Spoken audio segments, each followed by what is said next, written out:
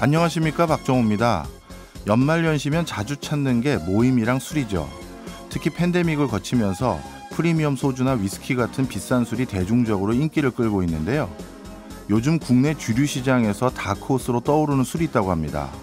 바로 고량주인데요. 고량주가 이끄는 주류 트렌드, 키워드 경제에서 알아보고요. 팬데믹이 주류 문화에만 영향을 끼친 게 아니죠. 전에 없던 변수들이 빠른 속도로 출몰하면서 투자 난이도도 높아졌는데요. 한국 시장에 맞는 가치 투자 노하우 오늘 체크리스트에서 배워봅니다. 12월 6일 수요일 박정호의 손에 잡히는 경제 플러스 광고 듣고 시작합니다. 키워드로 세상 보는 눈을 키워보는 키워드 경제 시간입니다. 오늘도 제 옆에는 남국민 뉴스 큐레이터 나와 있습니다. 어서 오세요. 안녕하세요. 오늘 키워드는 뭔가요? 오늘 가져온 키워드는 고량주입니다. 어 본인 주 전공인데요. 많은 분들이 아마 솔깃할 주제를 가져왔습니다. 예. 어, 남국민 뉴스 큐레이터 분은 저와 가끔 고량주를 같이 마실 때가 있는데 어, 고량주에 대한 지식이 남다릅니다. 청취자 여러분 한번 잘 들어보시면 연말 송년회 때 뭐라 할까요? 안주거리로 아는 척할 수 있는 거 많이 나올 겁니다. 자 하나하나 썰을 풀어봐 네, 주시죠.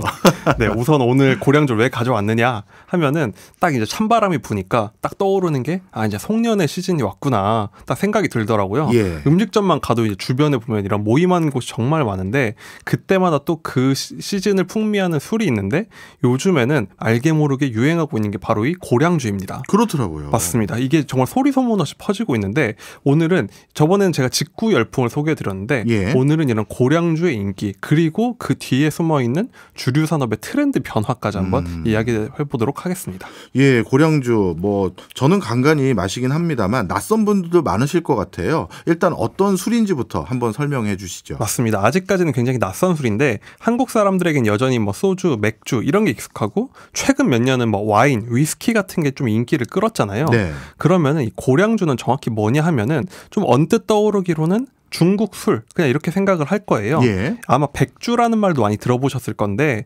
기본적으로는 중국의 전통 증류주를 백주라고 부르고요. 음. 그 중에서도 고량주는 이 고량이 원래 수수라는 작물을 뜻하거든요. 예. 이 수수를 발효해서 만든 걸 고량주라고 합니다. 예. 그러니까 백주라는 범위 안에 이제 고량주가 들어가는 건데 기본적으로는 수수를 발효해서 만든 술이지만 지금은 사실상 한국에서는 그냥 중국의 증류주 음. 이렇게 통하고 있습니다. 네.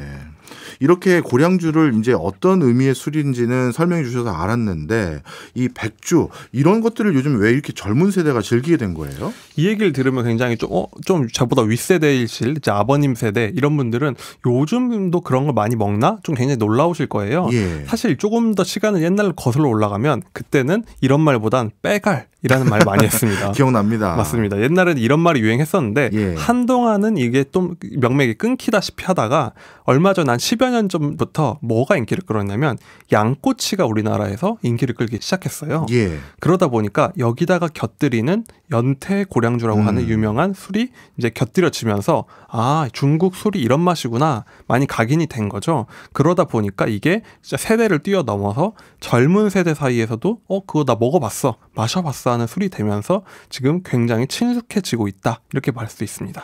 저는 말씀 주신 것처럼 빼가리라고 불리웠을 때부터 간간히 마셨던 술이긴 합니다만 진짜 요즘 청년들 사이에서도 고량주가 인기이긴 합니까? 그렇습니다. 가장 정확한 자료인 통계 자료를 한번 보면요.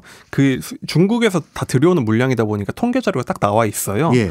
올해 1월부터 10월까지 중국에서 수입한 양이 1,500만 달러. 그러니까 우리 돈으로 193억 원 규모인데요. 예. 이게 2년 전에 비하면은 2년 전엔 1,000만 달러였어요. 음. 그러니까 2년 만에 50%나 늘어난 겁니다. 예. 그러니까 불과 2년 사이에 늘어난 거니까 아 가히 열풍이다 할 만큼 수입액이 늘고 있는 거죠. 그러면 한동안 인기 있었던 위스키랑은 어떻게 비교됩니까? 이 수치가 더욱 의미가 있는 게요. 다들 많은 분들이 아 위스키 열풍 이건 많이 들어보셨을 거예요. 예. 그런데 고량주가 위스키랑 대조되는 모습을 보여서 더 재밌는데 음. 최근에 인기라고 하는 위스키는 사실 요즘에 한풀 꺾이고 있습니다. 예. 뭐 예를 들면은 최근에는 너무 인기가 많다 보니까 거품이 꼈다. 이래서 일본에 가면 우리나라에서 똑같은 위스키가 반값이 되고 이럴 정도였는데 사실 지난 10월 기준으로 보면요. 위스키 수입량은 1815만 달러로 지난해 같은 기간 대비 27%가 줄었어요. 어. 그러니까 위스키는 지금 좀 정점을 지나고 있었던 거고 사실 그 사이에 치고 나온 거는 고량주가 더 인기를 끌고 있다 이렇게 볼 수 있는 거죠. 그렇네요. 말씀 주신 통계를 딱 보니까 위스키는 지는 술이고 고량주가 뜨는 술이네요. 그렇습니다.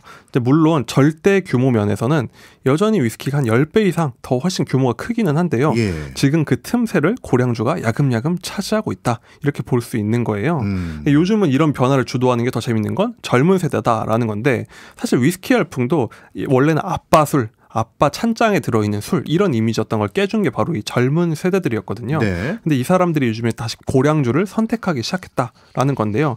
요즘에 인스타그램 같은 곳에 보면요.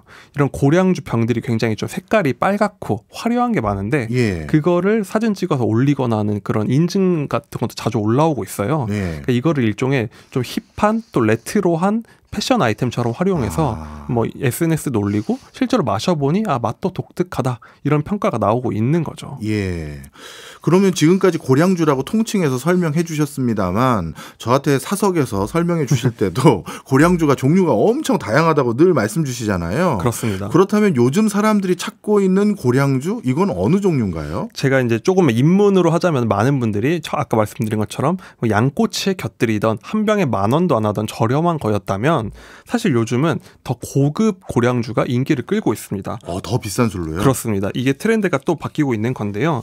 아까 제가 그- 그 수입하는 물량이 굉장히 늘고 있다라는 얘기를 해드렸잖아요. 예. 그런데 금액은 50%나 늘었는데 같은 기간 동안 또 재밌는 건 수입하는 양 그러니까 리터 단위로는 거의 늘지 않았습니다. 이게 무슨 말인지 잘 이해가 안 갑니다. 그러니까 수입한 금액은 1.5배가 됐는데 예. 수입한 양은 그대로란 말은 예. 양이 그대로인데 가격이 비싸졌다는 거죠. 아, 그러니까 다들- 그러니까 쉽게 얘기해서 같은 리터당 네. 가격이 더 비싼 술이 더 수입이 많이 됐다 이런 얘기군요. 그렇습니다. 지금 고량주가 저렴한 술이라고 생각할 수도 있지만 지금은 사실 슬금슬금 고급 술로 올라가고 음. 있다는 건데 조금 더 설명을 드리자면 그냥 이런 익숙한 만 원짜리 이런 것들은 뭐 중국 소주 이렇게들 많이 생각을 하세요. 네. 그 맛이 있는데 지금 고급이라고 하는 것들은 좀 더 짭짤한 맛이 나는 많이 이야, 이야 기 들어보셨을 마오타이주라든지 음. 뭐 3대 명주 중에 꼽히는 우량해라든지 이런 중국의 국주로 꼽히는 술들이 우리나라에서 인기를 끌고 있다는 거예요. 예. 이또 중국에서도 어, 한국 수출이 잘 된다 하면서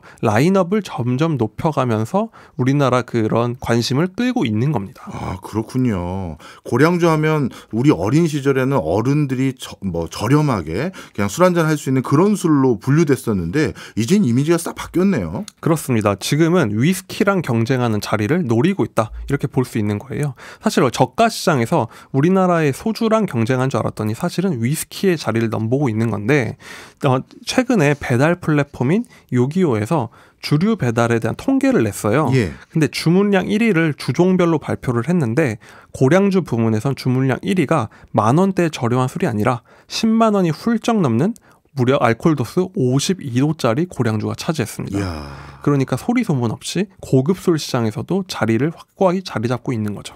원래 우리나라에서 대표적인 고급 술 그러면 위스키였는데 갑자기 고량주 소비가 이렇게 늘어나는 이유가 있을까요? 가장 큰 이유는요. 우선 고도주, 이런 도수가 높은 자리를 놓고 경쟁하는 거의 유일한 존재가 지금은 고량주뿐이라는 겁니다. 음. 그러니까 원래 위스키의 경쟁자가 되려면요 적어도 도수가 한 40도가 넘는 고도주여야 하는 거잖아요. 네. 그 시장이니까 그런데 이게 사실 주조 양조 기술상 이렇게 높은 도수의 술을 만드는 건 정말 굉장한 기술력입니다. 음. 사실 요즘은 21세기에는 뭐 기- 기술력 한 반도체지만 예. 이게 옛날 수백 년, 수천 년 전엔 사실 이 술을 빚는 능력이 그 나라의 최첨단 기술과 마찬가지였어요. 아. 왜냐하면 가장 중요한 사- 산출물인 곡물을 집어넣어서 예. 뽑아내는 화학 기술인 건데 이게 서양에서는 대표하는 게 위스키였다면 동양에서는 가장 역사와 문명이 오래된 국가 중 하나인 중국 술이 그 자리를 차지해 온 거죠. 음. 그런데 지금 돌고 돌아서 두 술이 한국 시장에서 경쟁을 벌이고 있는데 이 시장을 오직 이 두 술만이 하고 있기 때문에 고량주가 인기를 끌고 있다. 이렇게 볼 수가 있는 겁니다. 네. 그런데 사실 우리 둘이 가끔 고량주 마신 건 위스키가 너무 비싸가지고 마신 건데 그렇습니다. 이거 이거 위스키가 너무 비싸니까 그 자리를 차지하는 거 아닌가 이런 생각도 드는데요. 가격이 사실 굉장한 중요한 문제가 되는 게요.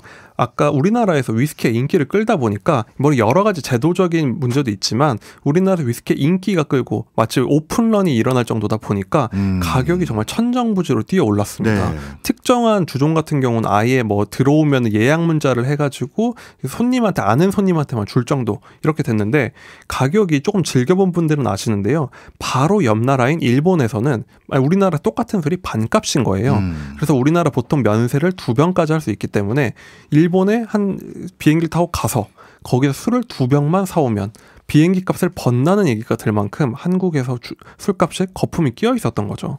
그러다 보니까 아, 위스키는 조금 너무 비싼 것 같아 하고 있었는데 고량주는 상대적으로 비슷한 수준의 술이 훨씬 가격이 저렴하다는 게 일반적입니다. 예.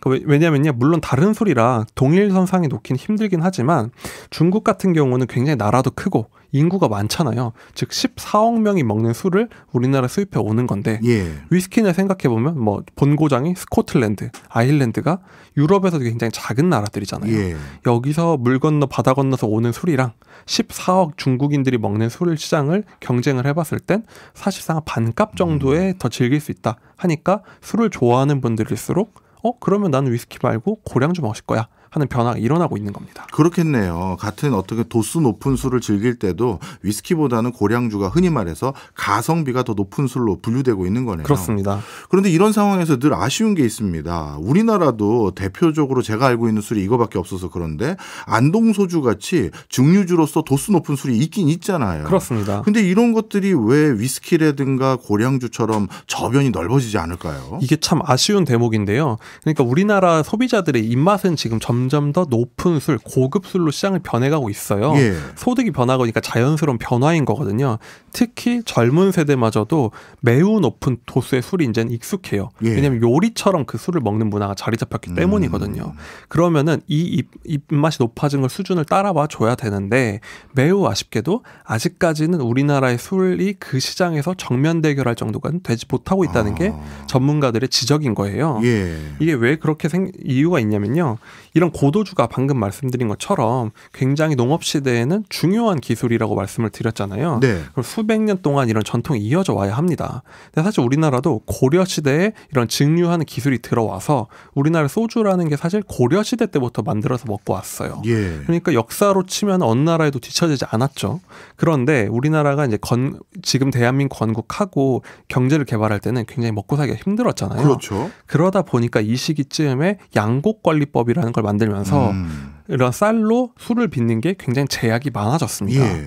그러니까 사실 술을 한 병을 만들기 위해선 사람들이 며칠 동안 먹는 곡물을 투자를 해야 되는 거예요. 음. 그러니까 먹고 살기 힘들던 시절에는 부자들 그 술 먹자고 우리 먹을 쌀을 낭비하는 거 아니냐 이런 이유가 있었던 거죠. 예. 그러다 보니까 당시에는 실용적 이유였지만 그 당시 이어지다 보니까 그런 전통적인 제주 주조법은 좀 전통이 끊겼고 그 자리를 차지한 게 뭐냐면 지금 우리가 그 녹색병 하면 아는 그 소주 예. 희석식 소주가 자리를 차지한 겁니다. 음, 나름대로 역사적 맥락에서 그 당시에는 희석식 소주가 대세일 수밖에 없는 이유가 있는데 지금은 상황이 바뀌었잖아요. 그렇죠. 그런데 이런 상황이 바뀐 것에 대응하지 못하면 자칫 잘못하다가 우리나라의 대표 적인 희석식 소주마저 그 위상이 흔들릴까봐 전 걱정도 좀 되는데요. 그렇죠. 지금 뭐 잠깐 설명을 드리자면 뭐 희석식 소주, 그러니까 소주라고 보통 부르다 보니까 그냥 뭐 소주는 소주 아닌가 할 수 있는 좀 차이를 설명을 드리면 예. 증류를 하는 건 증류를 할수록 도수를 높여서 40도, 50도까지 높일 수 있는 건데 예.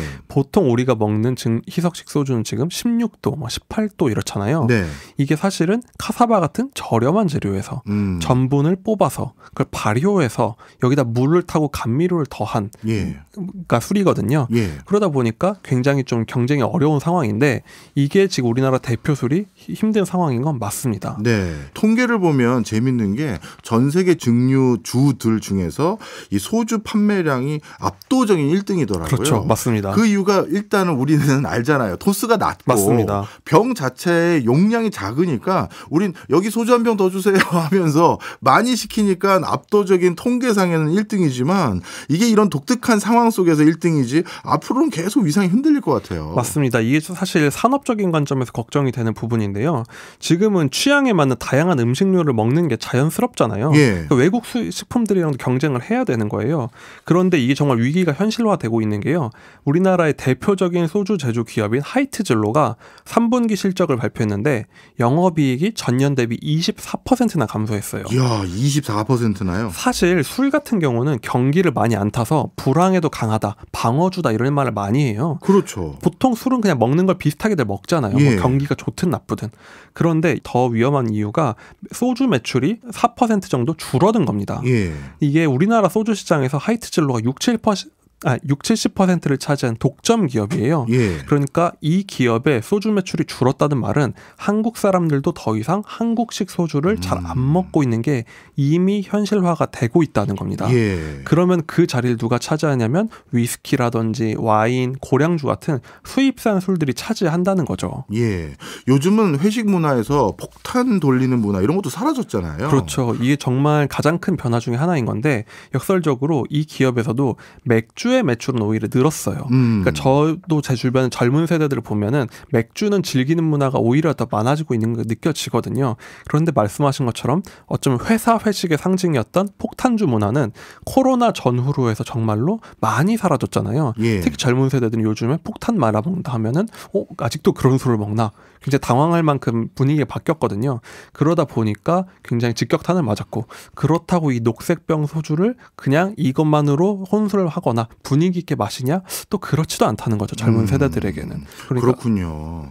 예전에 한참 경기가 어려웠던 시절이었던 IMF 외환위기라든가 글로벌 금융위기 때 이럴 때마다 오히려 소주 매출은 더 늘기도 했다 이런 소리도 들을 만큼 서민들을 위로했던 대표적인 술이 소주였는데 이제 점차 외면받고 있네요. 그렇습니다. 이제 정말 문화가 바뀐 건데요. 예전에는 술 하면은 일단 저렴해서 많이 먹고 오래 먹고 해야 된다는 인식이 있었잖아요. 그런데 이제는 음식의 일종으로 보고 그 자체를 즐기려는 문화가 굉장히 많아지고 있는 거죠. 예. 그러니까 해외처럼 이제 문화가 바뀌어가고 있는 건데 우리나라 술이 그렇다면 다 뒤처지고 있느냐? 희망적인 건 그렇지는 않습니다. 음. 좋은 통계도 있는데 지난해 전통주 판매량은요 2020년보다 두 배나 늘어났어요. 아 그래요? 그리고 전국에 전통주를 판매하는 보틀숍이나 양조장이 정말 급격하게 늘고 있는데 더 좋은 소식은 이거를 사는 사람도 만드는 사람도 이른바 젊은 세대들이 많다는 거예요. 아 그러니까 그냥 우리나라 술을 다 먹고 수입산 술이 좋다가 아니라 이 우리나라 입맛에 맞는 더 다른 술로 찾아서 이동하고 있는 거다. 이렇게 말씀드릴 수 있는 겁니다. 말씀 듣고 보니까 이제 우리나라 전통 술도 고량주처럼 어떻게 보면 가장 중요한 부가가치를 일으킬 수 있는 산업 중에 하나로 봐서 육성해야 될 것 같은데요. 그렇습니다. 중국 같은 경우 고량주 만드는 회사가 엄청난 시가총액을 보이잖아요. 그렇습니다. 지금 이제 산업적인 얘기를 하다 보니까 술이 뭐 그래도 그게 큰 산업이 될까 싶을 수도 있는데요. 중국 같은 경우 보면요. 시가총액 1위 기업이 마오타이를 만드는 귀주 모태주인데 여기 시가총액이 한 400조 원 정도 돼요. 그렇더라니까요. 이게 거의 삼성전자랑 비슷하거든요. 그러니까 삼성전자는 열심히 최첨단 반도체 만들어서 이룬 시가총액을 그냥 마오타이라는 술 만드는 회사가 지금은 하고 있다. 이 술이 전 세계적으로도 많이 팔리고 있어요. 예. 그러니까 이 술 산업이라는 게 정말 고부가 가치 산업이다. 잘하면 돈을 벌 수 있는 산업이라는 거죠. 음. 사실 우리나라 전통 술부터 해서 고 순도의 증류주 이런 것들을 산업적으로 육성하려면 제가 알기로 제도 개선도 필요하다고 들었습니다. 맞습니다. 이게 가장 많이 지적이 되는 부분인데요. 현재는 사실 그 술의 판매가에다가 그대로 주세를 물리다 보니까 예. 비싼 술을 만들수록 비싼 세금을 내야 되는 거예요. 예. 그러니까 이 술을 만드는 사람 입장에선 너무 고급 술을 만들어 봤자 너무 비싸서 팔리지가 않아. 그리고 사는 사람 입장에서도 위스키 같은 고급 술을 살려면 아 세금이 너무 부담된다. 이게 지금 현실이거든요. 거예요. 그래서 정부나 전문가들의 입장도 아 이거를 그냥 그 몇 리터인지에 따라서 붙이는 세금으로 바꾸던지 음. 아니면 제조 원가에 붙이는 방식으로 해서 조금 더 세금 부담을 낮춰서 우리나라의 고급 술 문화, 전통주를 좀 키워보자 이런 흐름이 이어지고 있습니다. 네.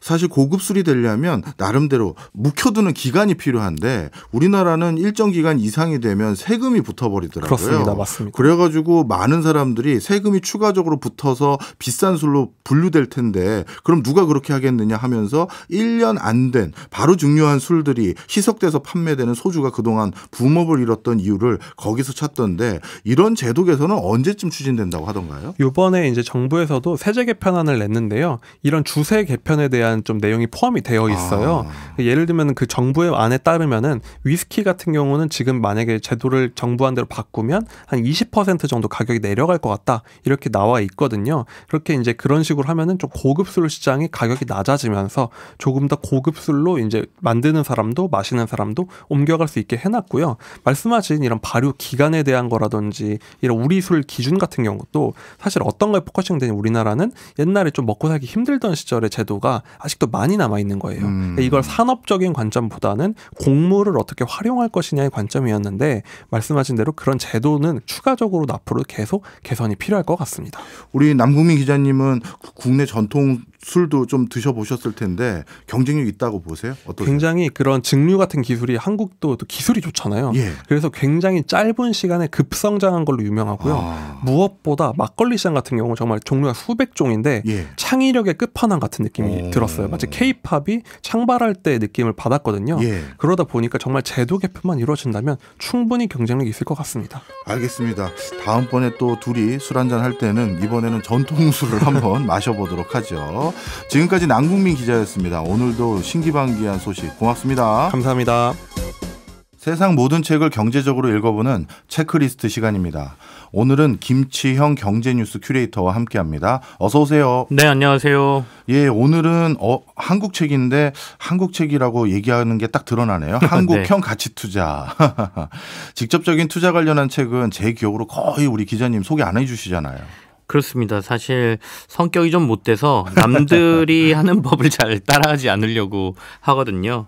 사실 투자법 등으로 소개되는 책들은 물론 가끔 찾아서 읽긴 하지만 다른 사람들에게는 특히 소개를 잘 하지 않습니다. 예. 투자법이라는 게 각자의 상황하고 성향에 따라 좋기도 하고 나쁘기도 하기 때문에 참고할 만하기는 하지만 꼭 따라하거나 기억해야 하는 건 아니다라는 제 개인적인 생각 때문인데요. 그런 지론 갖고 계신 분께서 이 한국형 가치 투자 이거는 소개를 해줘야겠다 하는 생각하신 이유가 있겠네요. 두 가지입니다. 첫 번째는 찰리 먼거라는 전 세계 가치 투자 업계의 거물이 최근 돌아가셨잖아요. 알죠. 예, 어제 성경제 플러스 시간에도 신기주 대표가 찰리 먼거의 투자법 알려주시던데 예. 이 워렌 버핏의 영원한 친구라는 별명을 가지고 있고 평생을 가치 투자라는 신념에 의해서 자산을 불려온 가치 투자에 대한 얘기를 좀 하고 싶었고요. 예. 두 번째는 내년도 그러니까 2024년 증권사들의 연만 전망을 좀 보니까 다양한 의견들이 있는데 유망한 주식을 섹터별로 뽑으면 뭐 반도체 이런 것들이 들어 있는데 자산의 성격으로 보면 가치주를 꼽- 뽑은 곳들이 꽤 많더라고요. 예. 그래서 겸사겸사 우리나라 증권 시장의 전통 가치 투자의 명맥을 잘 유지해 오고 있는 VIP 자산 운용의 두 대표가 최근 출간한 책입니다. 한국형 가치 투자라는 책을 같이 한번 읽어봐도 좋겠다라는 생각을 했습니다. 예. 사실 가치 투자의 대명사 그러면 워렌 버핏하고 찰리 멍건데 마침 최근에 작고하신 바람에 이번 주부터 그리고 지난주도 많은 네. 얘기가 나오더라고요. 그렇습니다. 어제 뭐 대가들의 투자 노트 들으신 분들은 잘 기억하시겠지만 제가 또 간단하게 오늘 정리를 해드리면 버크셔 해서웨이의 부회장이었어요. 찰리 멍거는 99살까지 현역에서 명성을 얻고 떠나셨으니까 어찌 보면 굉장히 행복한 삶을 사신 거죠. 물론 뭐 그 어떤 죽음도 행복한 죽음은 없지만요. 워렌 버핏보다 7살이 많으니까 워렌 버핏 옹도 이제는 92살이시란 얘기예요. 그렇네요. 예, 어쨌든 워렌 버핏은 어, 먼거의 영감과 지혜, 참여가 없었더라면 버크셔는 지금과 같은 지위를 겪고 쌓지 못했을 것이다라고 얘기를 했습니다. 예. 두 사람 고향이 같았고요. 어릴 적 먼거 부회장이 버핏의 할아버지 회사에서 잠깐 일했다고는 하지만 두 사람의 인연은 1978년 방직 공장인 버크셔를 워렌 버핏이 인수하면서 시작됐는데요. 이때부터 워렌 버핏도 그냥 투자가 아니라 회사 하나를 완전히 인수해서 방직 회사였던 버크셔를 투자 홀딩스처럼 운영하기 시작을 했고요. 예. 멍거 부회장도 하버드 로스쿨을 졸업해서 변호사를 좀 했다고는 하는데 워렌 버핏하고 손을 잡기 전부터 나름 투자에 꽤 성공했던 인물로 알려집니다. 음. 버핏의 명성에 가려져서 많이 알려지지는 않았지만 투자와 관련된 꽤 많은 말들을 남겼습니다. 주옥 같은 말들이 이 책에서도 소개가 되고 있는데요. 어, 그래요. 어, 예를 들면 투자란 몇 군데 훌륭한 회사를 찾아내 그저 엉덩이를 붙이고 눌러 앉아 있는 것이다. 이런 말도 했고요. 음. 질투는 미친 짓이다. 100% 파멸을 부른다. 질투에서 벗어나면 인생이 편해진다라는 말. 평범한 사업을 헐값에 사는 것보다 엄청 좋은 사업을 적절한 가격에 사는 것이 낫다라는 투자와 관련된 얘기. 어. 그리고 투자란 가격이 잘못 매겨진 도박을 찾는 거다 이런 말을 했는데요. 이걸 풀어보면 예. 베팅 가격이 잘못 매겨져 있는지 판단할 수 있을 만큼 많이 알아야 한다. 우리가 또 이렇게 이해할 수도 있겠습니다. 음, 그렇네요. 이제는 책 이야기로 들어가 보도록 하겠습니다. 네. 한국형 가치 투자 제목인데 일반 가치 투자하고 뭐 다른 점이 있으니까 앞에 한국형이라는 단어를 붙였겠죠? 사실 크게 다르지는 않습니다. 근본적으로 이들이 VIP 자산운용을 만든 최준철, 김민국 대표라는 두 사람이거든요. 예. 서울대 투자 동아리에서 출발해서 가치 투자라는 기치를 걸고 20년 넘게 자신들의 투자 스타일을 잘 유지한 국내에서 보기 드문 투자자이자 자산운용사의 경영자들입니다. 예. 이들은 벤저민 그레이엄을 시작으로 피터 린치를 거쳐서 워렌 버핏으로 이어지는 정통 가치 투자를 추종하는 투자자들인데요. 한국형 가치 투자라고 책 제목을 단 것은 이 책에 자신들이 그간 국내 주식시장에서 해왔던 가치 투자의 실패와 성공 그리고 그 과정 속에서 배우고 업그레이드한 투자 철학을 담고 있기 때문입니다. 또 요즘 서학겜이라고 불리는 한국 시장은 이제 끝났다. 제대로 된 증권 시장인 미국 증시가 진짜다라고 말하는 사람들에게 이 예. 책을 통해서 자신들은 왜 여전히 한국 증시에 남아서 가치 투자를 하고 있는지를 말하고 있기 때문에 또 한국형 가치 투자라는 제목을 붙인 것 같습니다. 사실 요즘 우리 증시에서 실망한 사람들이 정말 너무 많은 것 같습니다. 소위 작전이라고 하는 주식들도 그렇고요. 공매도 이슈가 터지질 않나. 그 과정에서 개인 투자자들 보호를 해주기는커녕 오히려 피해보는 게 뻔히 드러나는 상황인데도 제도 개선은 잘 안 되고 있고요. 그러니 당연히 미국 주식 시장에 더 눈독을 들이는 거 아닌가. 저는 그런 생각도 들던데요. 근데 이 책에서는 이런 표현을 하거든요. 어, 일본 dark fantasy 만화인 베르세르크라는 만화가 있대요. 예. 여기 대사를 인용해서 이런 얘기를 하는데 도망쳐서 도착한 곳이 낙원이란 있을 수 없다라고 음. 얘기하거든요. 그러니까 물론 미국이 말씀하신 것처럼 유명 기업들도 한국 시장보다 훨씬 많고 또 주주 보호도 제도적으로 잘 돼 있습니다. 예. 하지만 어, 미국 시장은 반대로 전 세계 투자자들이 다 모여들어서 경쟁을 하는 완전 경쟁 시장이잖아요. 그렇죠. 러다 보니까 어, 투자 기업에 대한 정보 우위를 점하기가 매우 힘든 시장이다. 음. 그리고 생각보다 미국 시장은 이슈나 분기 실적 등에 따라서 개별 종목의 하루 주가 변동폭이 매우 크다 보니까 그 얘기는 투자하기가 쉽지 않은 시장이라는 말로도 연결이 되는 거죠. 예.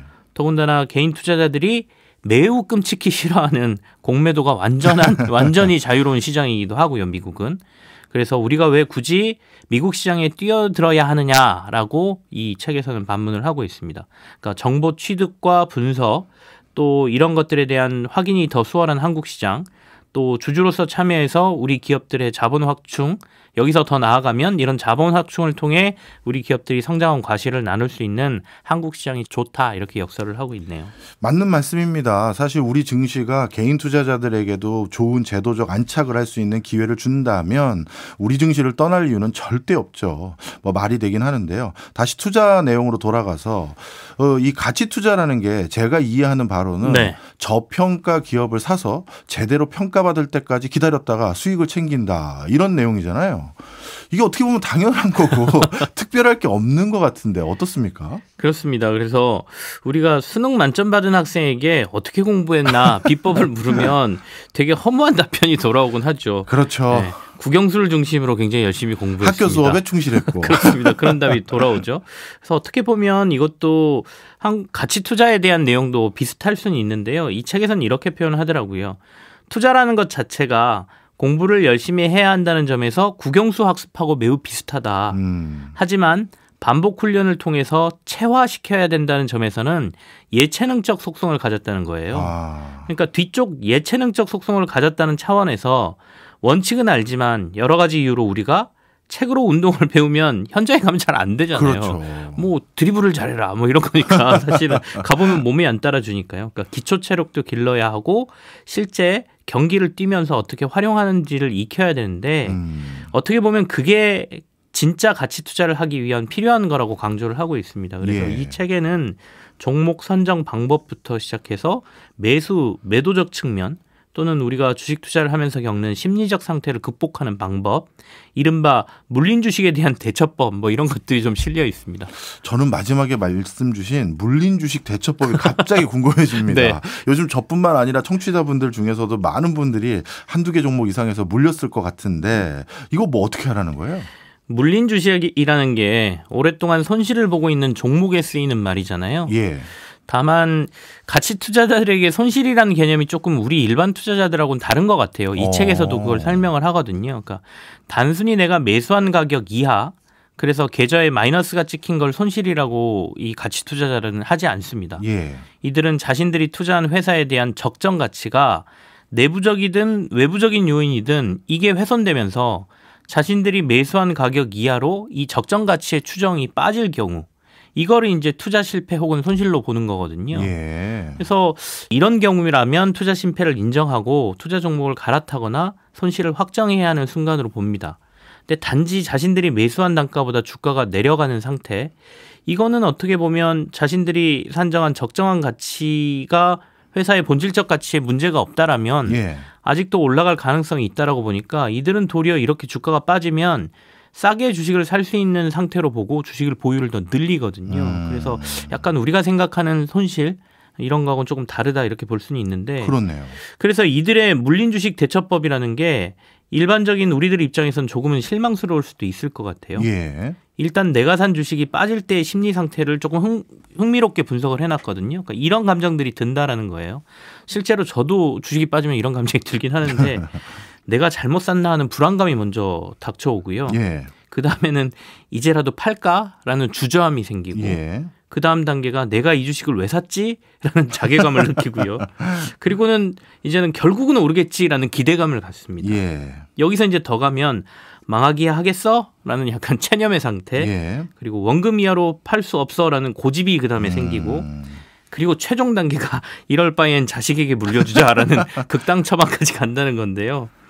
어, 이때 매수 단가가 이제 어떻게 보면 자신의 깨끗한 의사결정을 하는데 방해 요소가 된다라고 지적을 해요. 네. 그래서 이렇게 생각해 보면서 자신의 현재 상황을 판단하는 게 굉장히 필요하다라고 조언을 합니다. 그러니까 음. 내가 이 주식에 투자한 돈이 다시 현금으로 주어지더라도 지금 현재 같은 주식을 살 것인가라고 다시 되짚어보고 예. yes라고 하면 물린 상태가 아니다. 음. 그러니까 아까 더 사도 된다. 네. 도리어 싸게 살 수 있는 기회다라고 자신들은 더 산다고 하고요. 예. no라는 답변이 나오면 차분하고 과감한 결정을 하기 위한 대안을 빨리 찾아라라고 얘기합니다. 그래서 그렇군요. 더 좋은 주식을 빨리 찾아야 자기가 갈아타기도 쉽고 어, 물린 주식을 손절하기도 쉽다라고 표현을 하고 있습니다. 예. 실제로 이 자산운용 회사도 이런 식으로 본인들이 운영을 하는 거겠죠? 그렇습니다. 그래서 VIP 자산운용 아까 최준철 김민국 대표가 운용하는 회사가 VIP 자산운용인데요. 예. 이 회사는 주가가 하락하는 약세장에서 도리어 과감히 포트폴리오를 다시 조정하는 경우가 되게 아. 많다고 합니다. 그래서 종목 교체를 단행하는 건데요. 가치가 훼손된 주식을 빨리 알아차리고 예. 다시 한번 분석을 해서 심리적 불안 상태에 과도하게 빠져서 상승 가능성이 높은 종목으로 교체해 가는 겁니다. 그러니까 아. 시장이 같이 빠지면 좋은 종목들도 주가가 같이 빠지는 경향이 그렇죠. 있거든요. 그래서 그런 주식을 찾아서 가치가 훼손된 주식은 바로 교체하는 걸 약세장에서 한다 이렇게 얘기를 하고 있습니다. 물린 주식에 대해서 어떻게 대처해야 되는지 어떤 자세를 가져야 되는지는 조금 전에 설명 주신 걸로 이제 이해를 했는데요. 네. 뭐 물린 건 제가 보기엔 이제 어쩔 수 없을 것 같고요. 좋은 주식 고르는 방법도 나와 있나요? 자신들의 종목 선정 방법을 소개하고는 있어요. 근데 다만 대부분 투자를 좀 하신 분들은 아시는 내용들일 겁니다. 이른바 PER이라고 해서 주가 수익 비율이라는 지표가 있거든요. 예. 이게 이제 동종업계가 어느 정도 가치 평가를 받는다라는 기본적인 게 나옵니다. 그러니까 우리가 어, 동네 슈퍼에 가면 어, 이렇게 커다란 수박은 한 2만 원에 팔리더라. 그러면 주변에 비슷한 크기의 수박이 2만 5천 원에 팔리면 이건 비싸네. 네. 아니면 뭐 만 원에 팔리면 어 이건 싸네 이렇게 생각할 수 있잖아요. 이런 네. 거하고 비슷하거든요. 그래서 그걸 보고 어, 동종업계인데도 불구하고 PER이 너무 낮으면 주가 음. 수익 비율이 낮으면 어 그래도 투자해 볼 만하다라고 생각하고 분석을 한다라고 얘기를 하고 있고요. 네. 이건 굉장히 기본적인 거라 많이들 알고 계실 테고 두 번째는 재무제표를 분석해서 주가에 반영되지 않은 많은 자산을 가진 기업을 찾아본다든지 혹은 꾸준히 이익이 높아지는 기업을 찾아서 다음에도 이익이 높아질 거다라는 기대감이 있는 기업을 찾아내는 것이죠. 네. 또 하나는 비즈니스 확장이나 M&A를 통해서 사업의 확대 등이 예상되는 기업을 고른다든지 굉장히 이건 일반적인 얘기들이잖아요. 예. 근데 다만 이 책의 묘미는 이런 원칙들이 아니라 이걸 어떻게 적용하고 적용하면서 경험한 것들을 나누는 것이거든요. 음. 이런 거죠. 그러니까 우리도 너무 좋다고 생각해 투자한 종목이 5년이나 6년 동안 가격이 더 떨어지거나 오르지 않아서 고생한 것들이 있었다라면서 실제 주식을 얘기를 해요. 예. 이런 것들이 몇 년도에 어떻게 투자했는데 음. 얼마나 빠져서 너무 힘들었다. 네. 근데 견딜 수 있었던 이유는 결과적으로 보니까 우리의 판단이 틀리지 않았다는 거예요. 네. 많게는 다섯 배 이상의 수익을 결국 가져다 줬다는 건데 오. 6년 정도를 투자해서 이 과정에서 이 수익이 나타나는 구간은 불과 1년 상간이었다. 아. 그러니까 우리가 보통 팔레토의 법칙이라고 얘기하잖아요. 네. 그러니까 10이라는 기간 동안 수익이 나는 거는 한 8대 2라고 해서 한 2에 불과하다는 거거든요. 예. 그러니까 이 8을 견뎌내야 되는데 음. 견뎌내려고 하면 아까 말한 나의 적정 가치라는 음. 거에 대한 확고한 믿음이 있어야 된다라는 얘기를 하고 있고요. 그러면서 결국은 자신들도 보니까 촉매 같은 것들이 주식시장에도 필요하더라. 예. 그러니까 기업이 아무리 좋아져도 주가는 튀지 않고 있다가 갑작스런 촉매 하나가 주가를 자극하고 시장의 무관심을 엄청난 관심으로 바꾸는 상황이 만들어지면 음. 폭발적인 주가 상승이 나오면서 단기간에 많은 수익을 주는 경우가 있는데 네. 그 촉매를 만들어내든지 네. 아니면 그 촉매가 나올 때까지 기다리는 기다리는. 인내가 굉장히 필요하다 이렇게 얘기를 합니다. 어찌 보면 참 쉬운 것 같기도 한데 어려운 것 같아요. 맞습니다. 말씀을 쭉 듣고 보면 이런 생각도 솔직히 저는 듭니다. 진리라는 게 몰라서 실천을 못하는 게 아니라 아는데 못하는 것 같다라는 네. 느낌도 드는데 그만큼 그래서 이 두 저자는 에, 투자라는 게 예체능입니다라는 표현을 했던 것 같네요. 여러 번 하면서 체득 몸이 체득해야 된다는 거죠. 진짜 듣고 네. 보니까 그런 것 같습니다. 이 책을 통해서 우리가 또 배울 수 있는 점이 뭐가 있을까요? 음, 우리가 배운다기보다는 예. 내가 이 투자를 만약에 하고 있거나 투자를 할 생각이 있다라면 같이 생각해 볼 부분들이 이 책을 통해서 꽤 있는 것 같아요. 그래서 음. 한 번씩은 어, 읽어보고 참고할 만하다는 생각은 드는데요. 어, 능력범이라는 개념이 이 책에 소개가 됩니다. 예. 이건 사실 워렌 버핏이 하는 얘기인데요. 자신이 진정으로 제대로 이해하는 분야가 바로 능력범이다 이렇게 워렌 버핏이 얘기를 하거든요. 예. 그러니까 결국에는 잘 아는 분야에 투자하라 뭐 이런 말이 되겠죠. 그래서 중요한 건 원의 크기가 아니라 이 원 안에 머물러 있어야 한다. 그러니까 음. 내가 아는 범위 내에 머물러 있어야 된다는 거예요. 투자도. 예. 그러면서 우리가 어디가 좋다더라 하면 그쪽으로 쭉 가서 투자하고 또 야 어디가 주가가 급등했다더라 그럼 그 영역으로 가서 투자하고 그게 사실은 어떻게 보면 최근에 있었던 뭐 2차 전지라든지 뭐 이런 거일 수 있는 거죠. 음. 네. 근데 마, 근데 그런 투자는 마치 의사가 반도체에 올인해서 투자를 하고 예. 반도체 관련 기업에 반도체 연구원이 바이오 회사에 투자하는 꼴이라는 거예요. 음. 그러니까 변동성이 심해지면 그때는 이게 맞는지 안 맞는지 헷갈리면서 불안한 심리에 아주 저점에서 주식을 팔고 나와 버리는 적정 가치가 오기도 전에 팔고 나와 버리는 실수를 한다는 것이죠. 음. 그래서 능력 범위 투자라는 것은 결국 앞서도 말씀드렸지만 내가 매수한 가격 이하로 주가가 빠졌을 때 우리가 빠질 수 있는 감정적인 것들, 허탈감, 실망감, 뭐 천연등의 심리 상태를 이겨낼 수 있게 해준다는 거거든요. 그래서 이 능력 범위 안에서 투자하라 이 개념은 굉장히 중요한 것 같고요. 또 하나는 주식 투자를 하려면 변동성을 인정하라 이렇게 얘기를 하거든요. 예. 만약 변동성이 없다면 우리는 싼 주식을 살 수도 없고 비싸게 주식을 팔 수도 없다는 것이죠. 그러니까 어쩌면 변동성은 주식 투자라는 게임에 참여하는 일종의 입장료니까 이걸 아예 인정해 버려야 조금은 편한 마음으로 투자를 할 수 있다는 겁니다. 네. 그래서 불가피한 변동성을 견디기 위해서 자신들은 기업의 펀더멘탈을 끊임없이 공부하고 음. 견뎌낸다 이렇게 얘기를 하고 있습니다. 네. 제일 중요한 게 저는 어, 사는 것도 중요하지만 네. 매도 타이밍이 중요한 것 같아요. 매도 타이밍에 대해서 뭐 얘기한 게 없을까요? 사실은 이 책에서 반대로 얘기하는 것들이 꽤 있습니다. 어, 우리가 그래요? 시장에서 방금 전에 말씀하신 네. 것처럼 뭐 얼마에 샀든지 간에 매도가 기술이다라고 얘기하잖아요. 비싼 예, 예. 가격에 팔면 수익을 내는 거니까요. 예.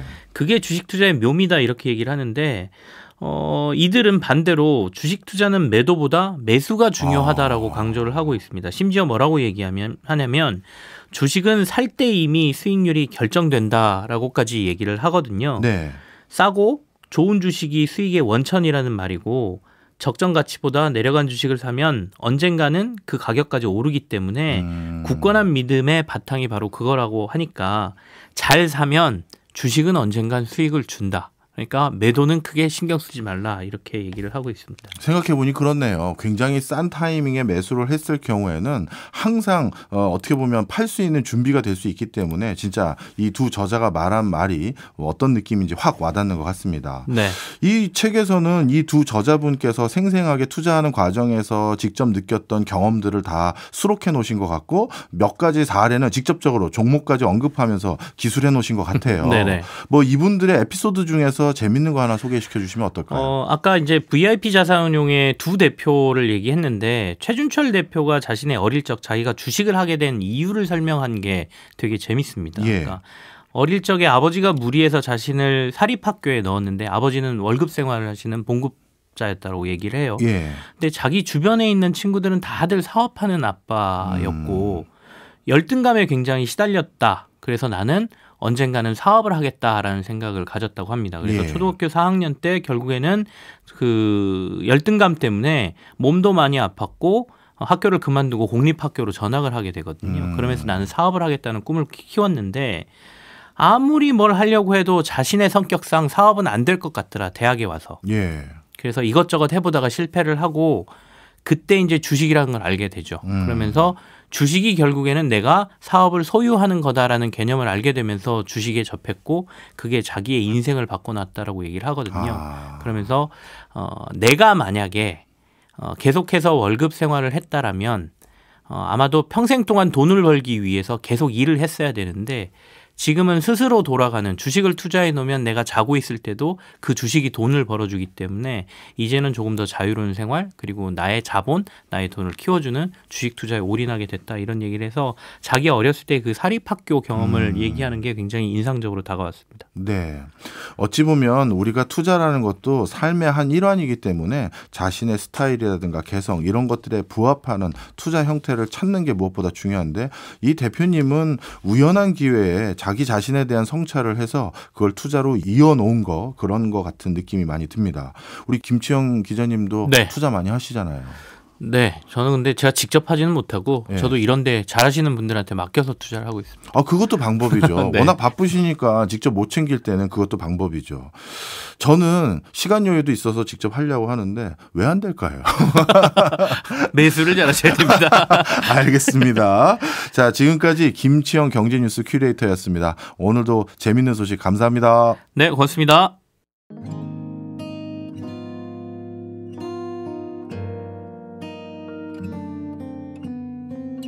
지금 나가고 있는 노래는 허각과 정인이 부른 동네 술집입니다. 오늘 고량주에 대해서 배워봐서 선곡해봤습니다. 박정호의 손에 잡히는 경제 플러스는 내일 저녁 8시 5분에 다시 돌아오겠습니다. 고맙습니다. 경제 생활의 플러스가 되는 아주 경제적인 시간. 박정우의 손에 잡히는 경제 플러스.